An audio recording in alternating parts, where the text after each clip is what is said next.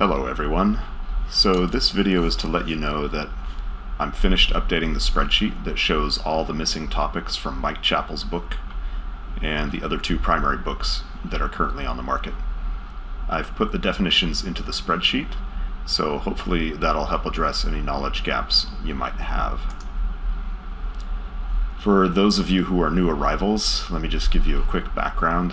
I basically did a video comparison of all the books against the common body of knowledge and came up with a list of about 300 new topics, more than half of which aren't covered in the books. And so I created this spreadsheet that shows all of these terms and books which do and don't cover them. And now, after that video, and several weeks of working on this, I received several requests to put the definitions into the spreadsheet, and this video is to let you know, to let you all know that it's done. And I do apologize for taking so long. I pulled most of these definitions out of our study guide, and others I had to pull from our questions, and there were several that needed additional research.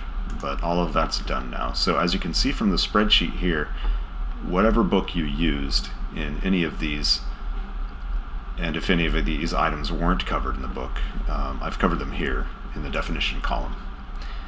So I'm sharing this spreadsheet, which is free, and I'll post a link in the description. If you want to support our website, then it's very much appreciated, but it's not required. I'm doing this out of the kindness of my heart because I'm such a great guy. But in all seriousness, my heart goes out to all of you. ISC Squared really needs to have better materials to help prepare us for this exam. And they really need to align the questions with their preparation materials. And so they have not done that, as most of you know. The rest of us shouldn't have to be scrambling like this to fill in the gaps. And so, with that said, I won't waste any more of your time.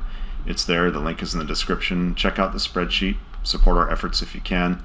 Best of luck on your studies. Thanks for watching, and have a great day.